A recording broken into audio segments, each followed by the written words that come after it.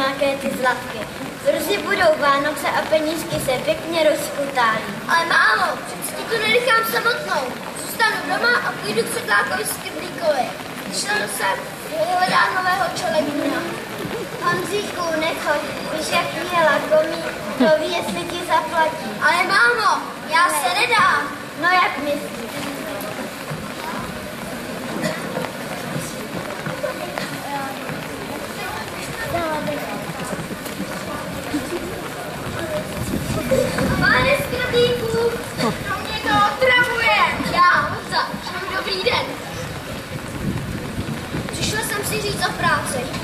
bys chtěl u mě pracovat. Což, práce je tu dost. Dobrá, vykynej hnůj, poluj krávy, nakrm koně, nanos dříví, ať to lítá, za linosti neplatím.